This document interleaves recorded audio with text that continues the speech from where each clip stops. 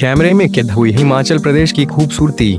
हिमाचल प्रदेश की प्राकृतिक खूबसूरती बहुत मशहूर है।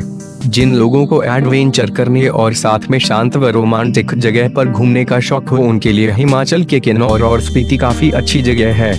की मोनास्ट्री वो जगह है जहाँ दलाई लामा ने नए मिलेनियम साल के पहले कालचक्र का आयोजन किया था। प्राकृतिक खूबसूरती का आनंद इस टूरिस्ट ने कुछ इस अंदाज में लिया। स्पीति घाटी की खूबसूरती देखते ही बनती है। यहाँ के हर कोने में आस्था के निशान नज़र आएँगे। पहाड़ों में अभिभावक अपने बच्चों को कुछ इस तरह अपने साथ लेकर चलते हैं। यहाँ का की बरगांव सबसे ऊंचाई पर बसा हुआ है। यहाँ सड़कों के किनारे बर्फ़ का कुछ यह नज़ारा देखने को मिल जाता है। यातायात की पर्याप्त सुविधाएँ न होने से यहाँ औरतें लंबी दूरी पैदल चल कर जाती हैं। भारत तिब्बत बॉर्डर का आखिरी गाँव चिटकुल तीन हज़ार चार सौ पचास मीटर की ऊंचाई पर बसा हुआ है। नाको झील की खूबसूरती देखकर सब मुग्ध रह जाते हैं। एन रूट कम जुमला चार हज़ार पाँच सौ मीटर की ऊंचाई पर है। कल्पा किन और के किनर की सबसे पुरानी राजधानी है।